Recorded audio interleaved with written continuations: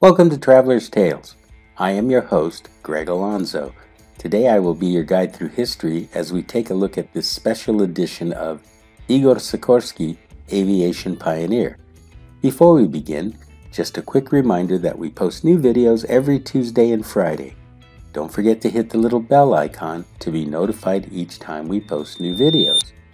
Moving right along. Mythology tells us one thing, while archaeology tells us another.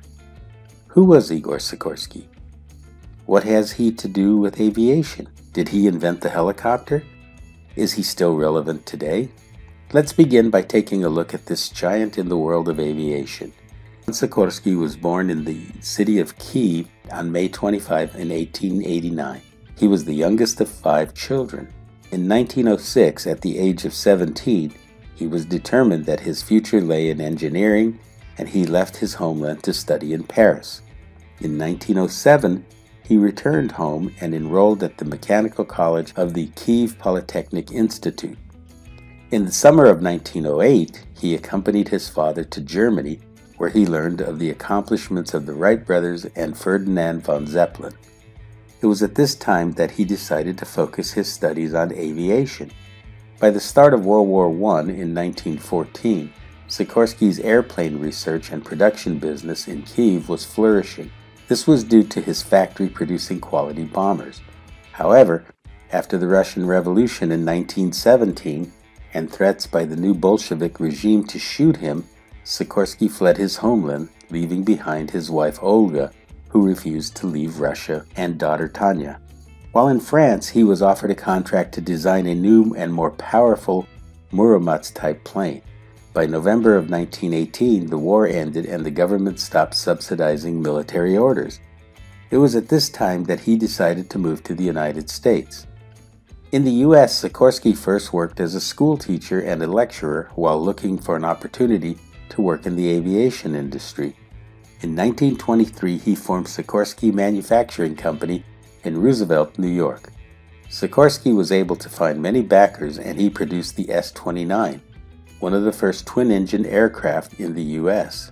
His plane also had the capacity to carry 14 passengers at a speed of 115 miles per hour.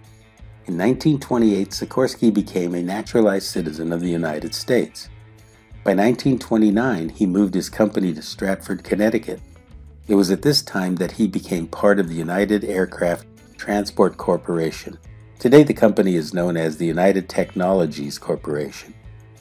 By June of that year, the company manufactured flying boats, such as the S 42 Clipper, which was used by Pan Am for transatlantic flights.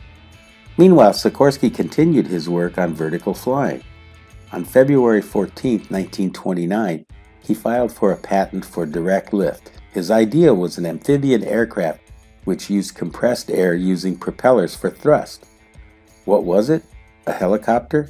Christened the VS 300, Sikorsky found great success. This led to the R 4, which became the world's first mass produced helicopter. Sikorsky's designs have become quite popular in most of the helicopters produced today.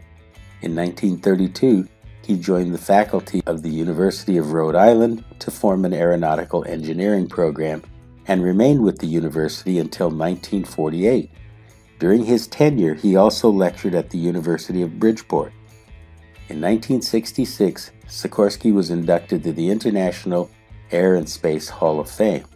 Igor Sikorsky died in his home in Easton, Connecticut on October 26, 1972. He was succeeded and buried in St. John the Baptist Russian Orthodox Cemetery located in Stratford, Connecticut.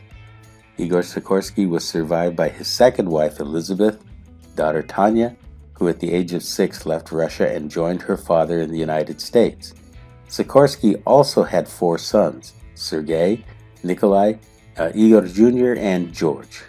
This brings us to the end of Igor Sikorsky, aviation pioneer. Thank you for joining us for this special edition of Traveler's Tales. Just a reminder that we post new videos every Tuesday and Friday.